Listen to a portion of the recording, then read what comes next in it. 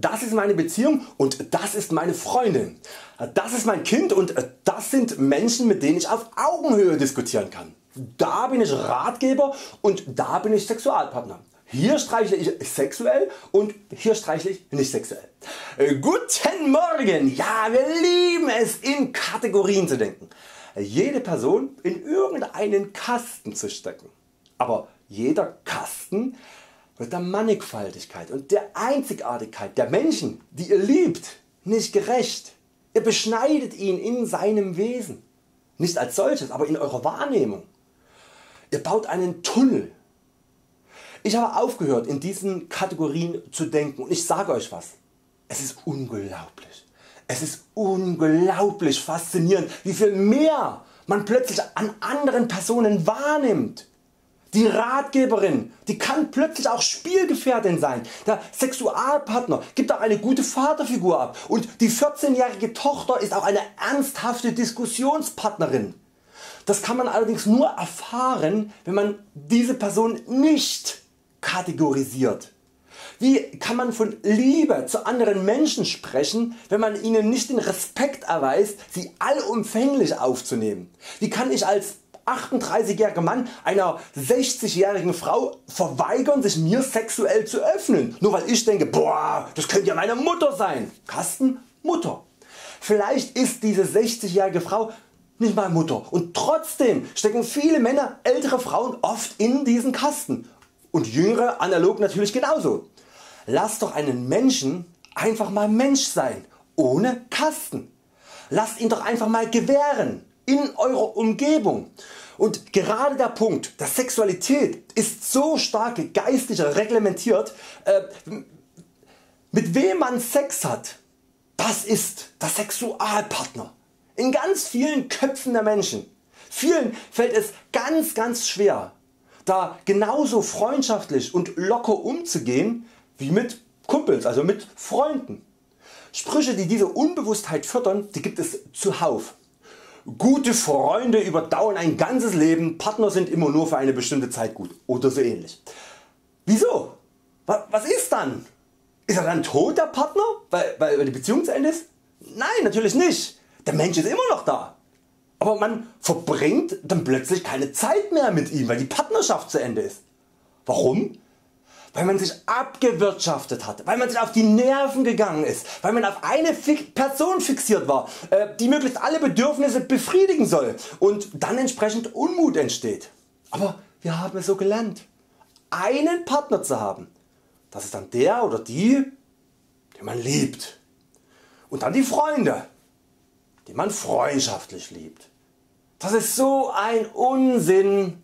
So ein Unsinn. Man liebt Menschen oder man liebt sie nicht.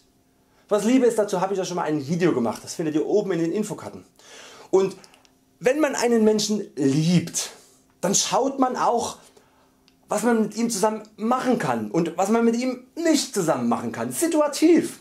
Und dann macht man das eben oder macht es eben nicht. Und wenn man es nicht macht, dann macht man das eben mit einem anderen Menschen wo in der Situation, dass man eben das Gefühl hat, dass man das machen möchte und der andere auch.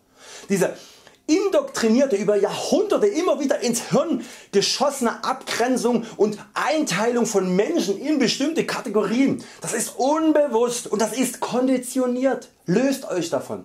Erfahrt Menschen neu, viel kompletter. Seid offen, versucht auch andere, andere Menschen nicht zu deuten oder zu analysieren. Was will der jetzt? Will der jetzt wirklich mit mir Federball spielen? Möchte der diskutieren oder möchte der einfach nur Sexualität? Sondern lasst einfach fließen.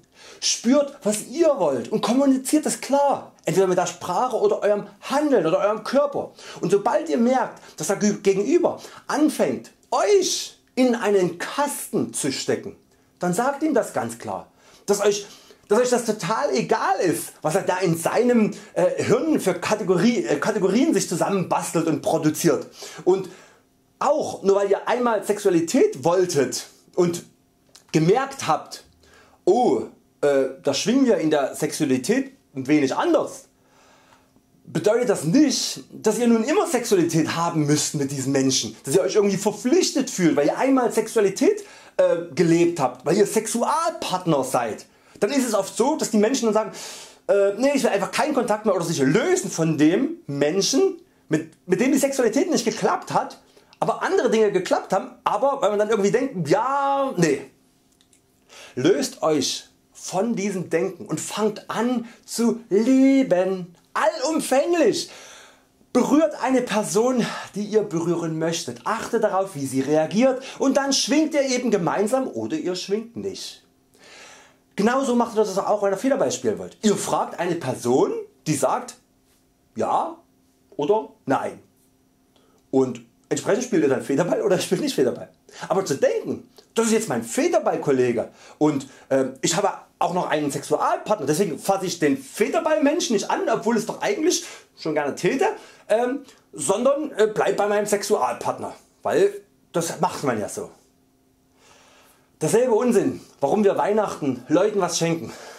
Wir haben es so gelernt, aber das ist nicht das Leben. Das Leben ist Schwingung, das Leben ist Energie und in einem Moment lebe ich eine Woche mit jemandem, als wäre er mein Partner und in der nächsten Woche, in dem nächsten Moment, also in der Woche, ähm, dann möchte ich vielleicht nicht mehr mit ihm zusammen sein in dieser Woche. Das kann passieren, das ist nicht schlimm, das kann man kommunizieren, ehrlich und offen.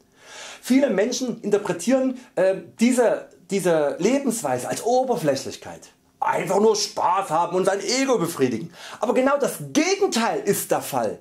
Eine Liebesbeziehung mit einem Menschen aufzubauen, das ist die Oberflächlichkeit des Lebens. Denn Leben ist voller Dynamik.